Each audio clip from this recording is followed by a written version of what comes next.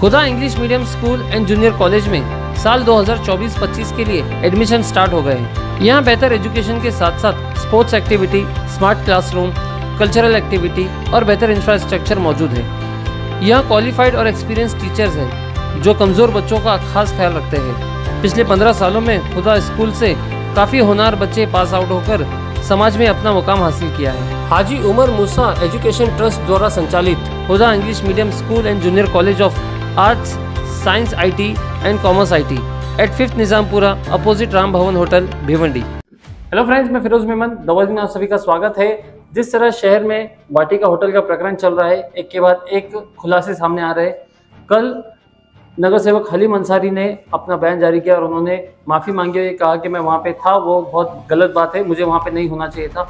उसके बाद में व्हाट्सएप के ऊपर एक लिस्ट जारी हुई, जिसके अंदर कहीं किसी ग्रुप में 12 नाम जा रहे थे, किसी ग्रुप में 10 नाम जा रहे थे, किसी ग्रुप में 13 नाम जा रहे थे और इसके ऊपर जो वहाँ पे थे, उनके तो नाम थे ही वहाँ पे, लेकिन जो नगर सेवक वहाँ पे नहीं थे, उनको भी बदनाम करने के लिए उनके भी नाम जो है, उस लिस्ट में डाले जा रहे थे। ऐसे ही दो तीन प्रकरण हमारे सामने आए ऐसे दो तीन मामले हमारे सामने आए जिसमें से एक भिवंडी दरगाह रोड के वार्ड नंबर 19 के नगर सेवक शकील अंसारी उर्फ़ शकील पापा के नाम से जो फ़ेमस है उनका भी नाम जो है किसी ग्रुप में डालकर ऐड करके दिया गया था।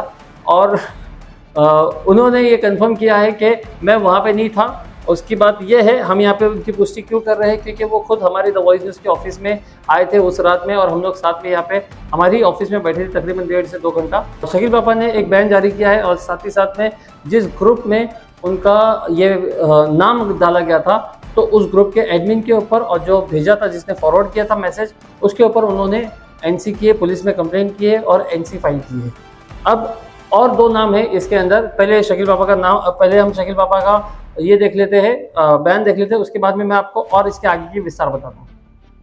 शकील भाई क्या कहेंगे क्या बात है आज आपने मीडिया को बुलाया? पूरे शहर को इस बात की जानकारी होगी कि पूरे शहर में एक मामला चला है नगर सेवकों के ताल्लुक से कि वाटिका में कुछ मुलाकात या मीटिंग हुई है नगर सेवकों की। उस ताल्लुक से लोग मेरे ख्याल से वहाँ कितने लोग थे क्या थे इसकी जानकारी तो वही लोग दे पाएँगे जो वहाँ थे। लेकिन कुछ लोग इसमें बदमाशी करके नए नए नाम ऐड करके लोगों को बदनाम करने की कोशिश कर रहे हैं। इसी तरह एक ग्रुप है Y M company group. WhatsApp group है? व्हाट्सअप ग्रुप है। और मेरे दोस्त का ही है अमार मास्टर का। उसमें एडमिन है। उस ग्रुप में किसी, क्या नाम है इसका, आसिफ अंसारी करके कोई है।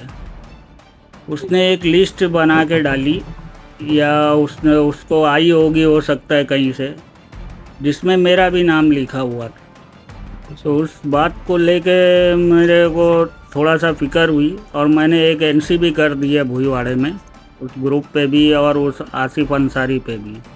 तो इसी बात की जानकारी के कोई भी अगर किसी का भी गलत नाम इस्तेमाल करता है या बदनाम करने की कोशिश मुझको करेगा तो मैं उसके खिलाफ़ कानूनी कार्रवाई लीगल कार्रवाई करूँगा। और उस बात को लेकर मैंने कार्रवाई कर दी है। अब वो पुलिस छानबीन करेगी कि कहाँ से ये आया है और किसने उसको भेजा था। शकील भाई ये बात तो अभी तक समझो ढकी छुपी है कि समझो हम्म। जो कुछ हुआ था वाटिका हम्म। में तो हम्म। उसकी जो वीडियो अब तक के बाहर आई नहीं है। हम्म। और उसमें बहुत सारे नाम है जो कि लोगों को लग रहा है कि जाने अनजाने में है कैसे। तो आप इतना कैसे आप इससे कह सकते हो कि आप वहाँ पे उस दिन नहीं थे? अरे मुझको तो खुद के बारे में तो पता होएगा ना कि मैं था कि नहीं था। आप उसको साबित कैसे करोगे जब तक वीडियो नहीं आती है? जो लोग थे वो ही बताएँगे। कि कौन था और कौन नहीं था। और वीडियो भी है ना लोग हलीम का एक स्टेटमेंट आया कि उसमें वीडियो भी है और वहाँ कौन था मैं बताऊँगा। तो बताए हलीम क्लियर करे। हाँ।